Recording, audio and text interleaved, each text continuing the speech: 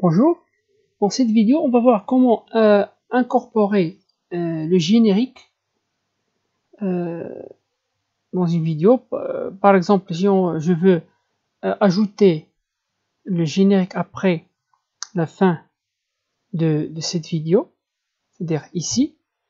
tout d'abord la question qui se pose c'est quoi le générique?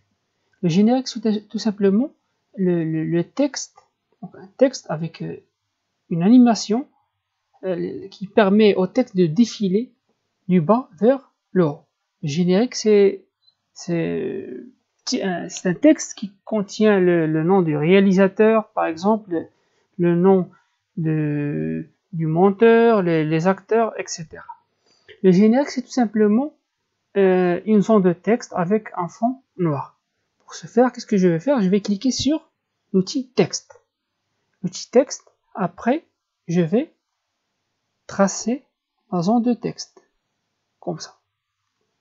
Donc voilà la zone de texte que je viens de, tracer. Maintenant, je vais la glisser après la fin de, la vidéo. Je vais déplacer le timeline ou bien le curseur du timeline vers le début de la zone de texte du générique, soit en utilisant la souris, soit en utilisant les flèches du clavier c'est-à-dire flèche du clavier qui, vous permettent de déplacer le, curseur du timeline avec euh, une façon plus à l'aise et avec plus de précision. Maintenant, je clique à nouveau sur le texte et je commence à saisir le texte du générique. Par exemple, générique, c'est un texte aléatoire qui n'a aucun sens, c'est tout simplement pour vous montrer euh, le, à quoi à quoi ça ressemble? Le générique? Par exemple, nom 1, entrée pour revenir à la ligne suivante. Nom 2, nom 3, nom 4, point, point, etc. Maintenant, pour modifier ou pour mettre en forme euh, le texte du générique, qu'est-ce que je vais faire? Tout simplement, je vais sélectionner le texte et aller sur FX Control. Puis, je vais glisser l'ascenseur vers le bas pour voir la section qui concerne le texte. Voilà la, zone qui, euh, concerne le, texte, euh, dans laquelle vous pouvez soit choisir le type de police, c'est-à-dire la famille de la police.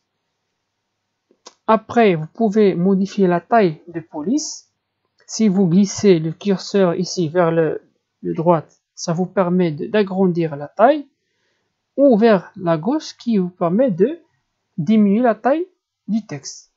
Vous pouvez, par exemple, je vais déplacer à gauche, voilà. Maintenant, qu'est-ce que je vais faire? Je vais centrer le texte. Pour centrer le texte, je vais cliquer ici.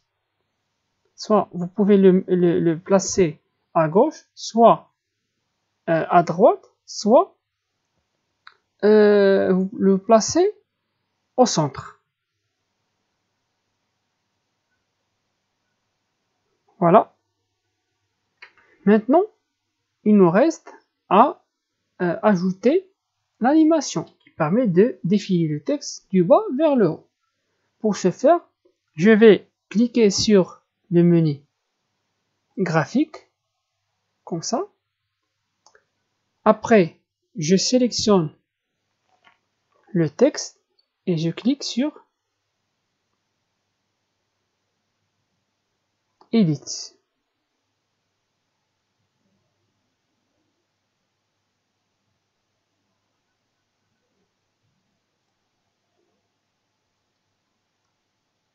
Donc je sélectionne le texte comme ça. Après, je vais cliquer sur Rôle. Le rôle, c'est tout simplement l'animation qui permet de défiler le texte. Maintenant, si je clique sur Play, je vais voir l'animation, le texte avec l'animation concernée. Maintenant, les deux, questions qui se posent. Comment peut-on soit accélérer l'animation ou bien de, de ralentir l'animation? La réponse, c'est tout simplement dépend de la longueur du, texte que vous avez saisi. Si je vais étendre le texte comme ça, c'est-à-dire je vais ralentir le rythme de l'animation, comme ça. Par contre, si je vais raccourcir la zone de texte comme ça, c'est-à-dire je vais accélérer le rythme de lecture de l'animation, comme ça. Voilà. Si je vais raccourcir à nouveau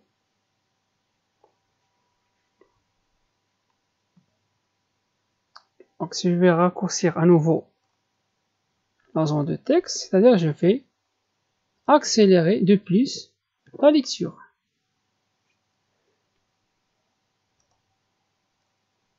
Et voilà. Maintenant, si je vais lire la vidéo, donc voilà.